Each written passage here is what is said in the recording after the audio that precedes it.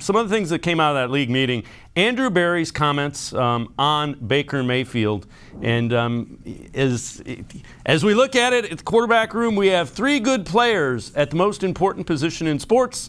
That's not to say there aren't things we're going to work through over the course of the next several months, but I don't view it as a bad situation at all. We feel like we have three good ones. A lot of teams are still looking for one guy, so you don't mind depth in there. We'll keep taking it as it goes. So the three good ones would be Deshaun Watson, Jacoby Brissett, and Baker Mayfield. Um, Andrew Berry has to say that, doesn't he?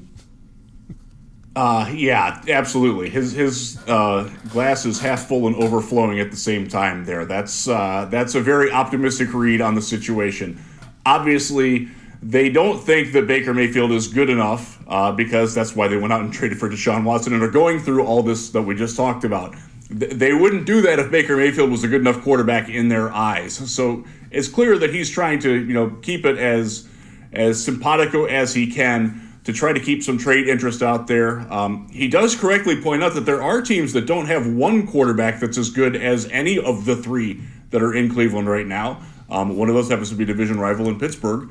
Um, and that's that's certainly a, a potential landing spot for Baker. As much as Steelers fans would cringe at that, and as much as a lot of us in Browns Nation would uh, kind of laugh at that, but uh, look, he's got to keep the market high, um, and and you know get get whatever you can out of Baker Mayfield. It's clear that he cannot stay on this football team. Um, I can't imagine Baker Mayfield handling that well. I can't imagine that going well. Um, you just you just don't need that. That that with all the headaches that they're going through with Deshaun Watson, they don't need another one with Baker Mayfield. The sooner that comes to resolution, the better. With the understanding that it might not end as as soon as we all would like it to, or as Baker would like it to.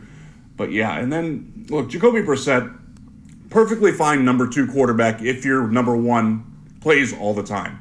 Um, this is not a guy that you want seeing the field on an extended basis. Um, he's not as good for my money as Tyrod Taylor has been um, in that same role. So I'm uh, I, am not buying what, what what Andrew Berry is selling there. By the way, it is Andrew Berry's 35th birthday today. Happy birthday, Andrew Berry! Um, and uh, blow those candles out on, on Baker as soon as you can.